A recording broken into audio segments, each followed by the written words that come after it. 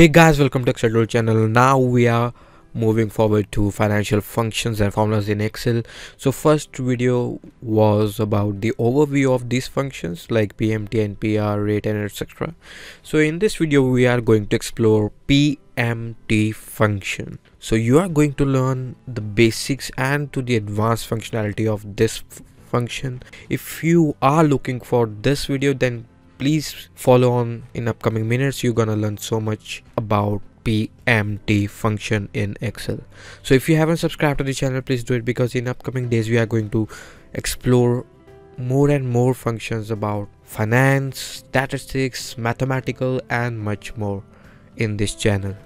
So let's get started. You must be wondering the word annuity. Annuity is a plan that helps you to get a regular payment for life after making a lump sum investment. So it's a part of your investment right to get certain amount after some years. So the goal in this example is to have three hundred thousand dollars or rupee or however you want at the end of 10 years here. So goal here is to get the face value or you can say the future value of $300,000 at the end of 10th year here okay? So we are getting the interest of 6% hope you're getting my point? So we are going to find uh, annuity due payments which are made at the beginning of the period instead of the end okay? So you must just go through the terminology of such terms of such scenarios like annuity what is annuity what is present value which is future value and something like that. But if you are from the banking background then you must be aware of this. So we are going to find the annual payment we get in this function. So what we are gonna do here is to put the pmt function here. So annual payment we are gonna get at the end of the every year how much is gonna be? So for the first year we are gonna find that annual payment okay so we have a rate percent which is this which is i think straightforward. So terms so we are getting the annual payments here.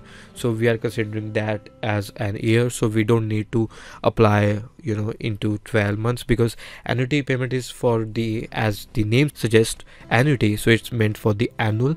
So i'm just assuming these terms are for the yearly part.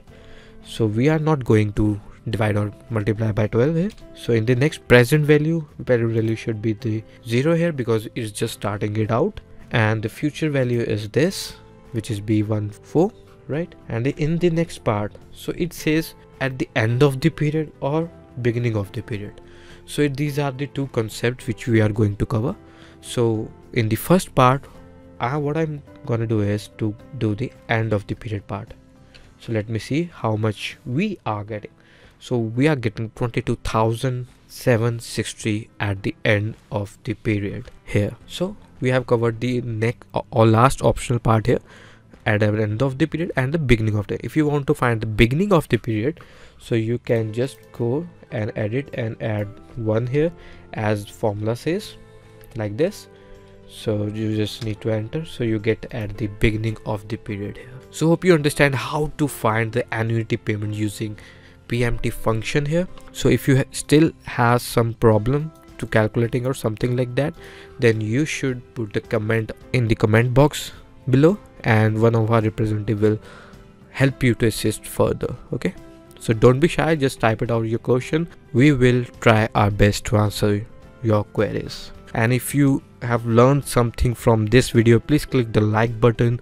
And if you want to watch more functions like this then you should click the subscribe button to follow along all the videos we are we are going to upload in upcoming months. And if you haven't subscribed to this channel please and if you want to share this video to your colleague friends or family then use the share button.